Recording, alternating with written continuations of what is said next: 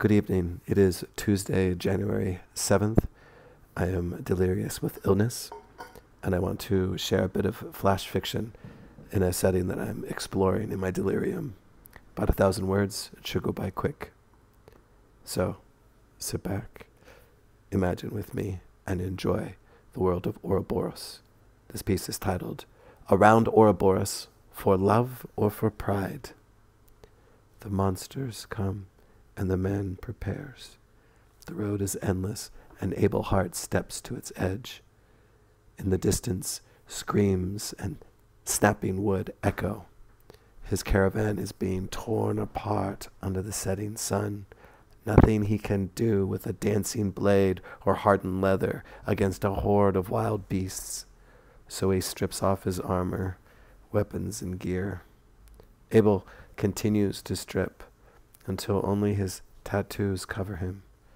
Seven runes mark his flesh, each one stylized symbol of a city he has served on this endless path. The woman he loves is at both the finale and the beginning of his journey. The beauty he will marry must be won by looping this world and earning a tattoo from every city along the way. The screams scatter their meager defense must have collapsed and panic set in, dumbing them to the final lesson on Uroborus strip and surrender to survive. There is time. Abel pulls a notebook out of his backpack and kneels. Eyes straining, he reviews a magic ritual that will cost the last of his wealth. He was saving it, wary of its loss if he failed. But now the monsters are here to prove all wealth is fleeting. He sprinkles fine powders of precious metals, the currency of magic. He checks and rechecks the symbols. Teeny imperfections will magnify under the mystic pressure. He could do this from memory if he was a wizard, but only humans born on this world can claim those skills. The father of his love denied him the same excuse. With a crossbow prime, the old man had sworn only a native would claim his daughter. Abel growls and empties the rest of the powder into his palm. The sun sets, and the glow of dusk outlines the final symbols of the ritual. Only the status of becoming a looper can force the old man's blessing. Seventy-three more cities, and he can claim honor as a native born. The screams die down as he finishes shaping the symbols. The beasts will spread out now, looking for the smart ones, the few like him who ran when the dust cloud first appeared. He holds the book up to his eyes, but the scribbles are blurred under the dark sky. Chants and gestures are still needed, and he is not blessed with dwarvish night vision.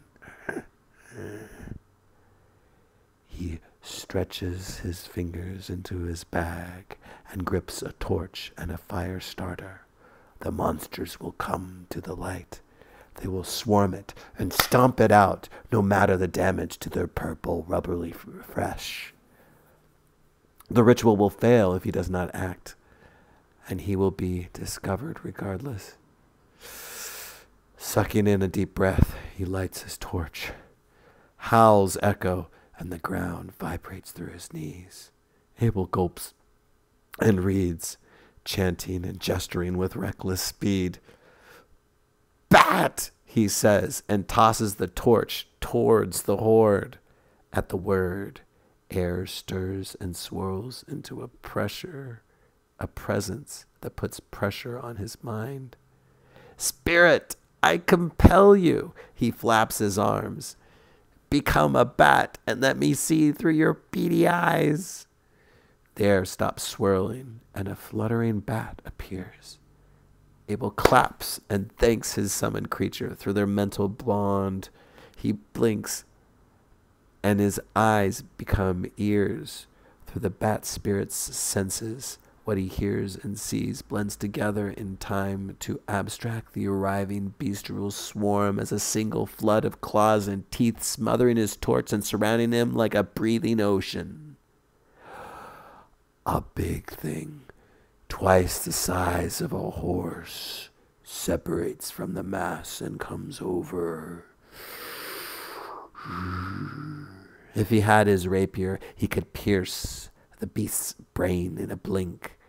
But this is not a death duel following the rules of his home world. Any aggression, and they will all attack.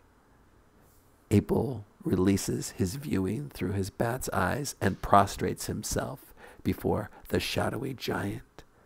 The monster snorts and claws at his strewn items, knocking them into a pack of lesser beasts behind it. With yips and snarls, they tear, rend, and bend. He grimaces. The ritual book cost him several seasons of labor on the road. Unless he finds better pay, it might take a year to recoup all his recoup all his gear. The giant beast sniffs along his spine and rolls him over with a grand paw. It digs where he was, finding nothing. Years ago, he might have hid his best items under his body, but some of the monsters are getting smarter. They dig and search now. They also tempt. The monster's growls shift into the grunts and sighs of a native tongue. Abel has struggled to learn this world's languages, but lessons have been short and far apart during his journey. He cannot even tell if the words are from the northern or southern wilds. Four years have passed since he made his vow, and now he's been stripped back down to nothing. Going back would have meant failure, but there are poorer families with extra daughters. A seven tattooed man would be a proper catch for them, even though he had arrived on this world shackled as a prisoner. The beast rubs its massive head against Abel's bare chest. Warm and gentle as a kitten, it has fangs as long as fingers and claws the length of a chair leg. A twitch would skewer him. Skewer him. He should be petrified. His heart should be thumping. But other than its size, the creature is not so different from the drakehounds he played with as a child. Hand steady, Abel pats the beast's cheek. Good boy. The monster opens its mouth over his face. He shrinks against the dirt and it huffs at him. Huffs. Huff. Mingled sounds come out. Maybe even a few words of the common tongue. Join us. Join us. Offer made.